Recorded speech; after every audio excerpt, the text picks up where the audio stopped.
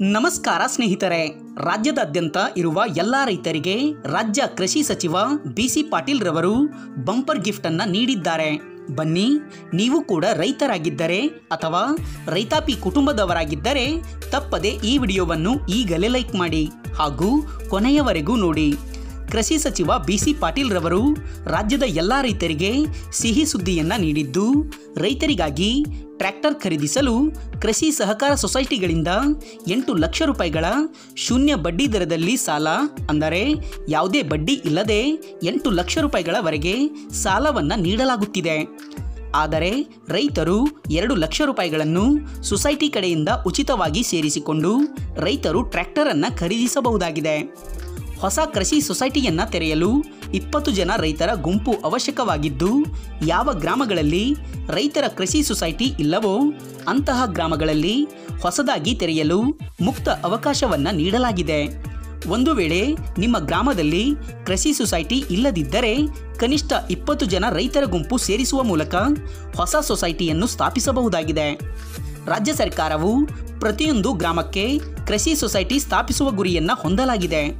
ಹೊಸದಾಗಿ ಸ್ಥಾಪಿಸಲಾಗಿರುವ ಕೃಷಿ ಸೊಸೈಟಿಗೆ ರಾಜ್ಯ ಸರ್ಕಾರದಿಂದ ರೈತರು ಟ್ರ್ಯಾಕ್ಟರ್ ಖರೀದಿಗೆ ಎಂಟು ಲಕ್ಷ ರೂಪಾಯಿಗಳನ್ನು ನೀಡಲಾಗುತ್ತಿದ್ದು, ಎರಡು ಲಕ್ಷ ಸೊಸೈಟಿಯನ್ನು ನೀಡತಕ್ಕದ್ದು ಮತ್ತು ಖರೀದಿಸುವ ಟ್ರ್ಯಾಕ್ಟರ್ ರೈತರು ಬಳಸಿಕೊಳ್ಳಬಹುದಾಗಿದೆ ಎಂದು ಕೃಷಿ ಸಚಿವರು ತಿಳಿಸಿದ್ದಾರೆ.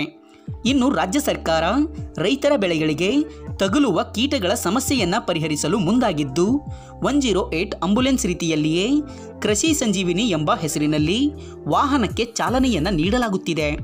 ಕೃಷಿ ಸಚಿವ ಬಿಸಿ ಪಾಟೀಲ್ ರವರು ರೈತರೊಂದಿಗೆ ಒಂದು ದಿನ ಎನ್ನುವ ಕಾರ್ಯಕ್ರಮವನ್ನು ಹಮ್ಮಿಕೊಳ್ಳಲಾಗಿದ್ದು, ಈ ಕಾರ್ಯಕ್ರಮದಲ್ಲಿ ಮಾತನಾಡಿದ ಅವರು, ಕೃಷಿ ಸಂಜೀವಿನಿ ಎಂಬ ಹೆಸರಿನಲ್ಲಿ ಹೊಸ ವಾಹನಕ್ಕೆ ಚಾಲನೆಯನ್ನು ನೀಡಲಾಗುತ್ತಿದ್ದು, ರೈತರು one double five three one three ಸಂಖ್ಯೆಗೆ ಕರೆ ಮಾಡಿದರೆ ಸಾಕು.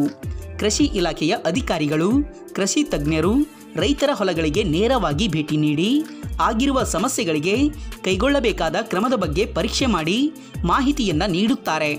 ಜೊತೆಗೆ ಸ್ಥಳದಲ್ಲಿಯೇ ನಿಮ್ಮ ಜಮೀನಿನ ಮಣ್ಣಿನ ಪರೀಕ್ಷೆಯನ್ನು ಕೂಡ ಮಾಡುತ್ತಾರೆ ಎಂದು ಕೃಷಿ ಸಚಿವ ಬಿಸಿ ಪಾಟೀಲ್ ರವರು ತಿಳಿಸಿದ್ದಾರೆ. ಹಾಗಾಗಿ ಈ ವಿಡಿಯೋವನ್ನು ರಾಜ್ಯದಾದ್ಯಂತ ಇರುವ ಎಲ್ಲ ರೈತರಿಗೆ ಈಗಲೇ ಶೇರ್ ಮಾಡಿ ಈ ವಿಷಯವನ್ನು ತಿಳಿಸಿ. ಹಾಗಾಗಿ ನಿಮ್ಮ ಅಭಿಪ್ರಾಯವನ್ನು ಕೂಡ ನಮಗೆ ಕಮೆಂಟ್ ಮಾಡಿ. ಹಾಗಾಗಿ ಈ ವಿಡಿಯೋ, ಈ ಮಾಹಿತಿ ನಿಮಗೆ ಇಷ್ಟ ಆಗಿದ್ರೆ ಲೈಕ್ ಮಾಡಿ, ಶೇರ್ ಮಾಡಿ, ಕಮೆಂಟ್ ಮಾಡಿ, ಸಬ್ಸ್ಕ್ರೈಬ್ ಆಗೋದನ್ನು ಮಾತ್ರ ಮರಿಬೇಡಿ. Thank you for watching.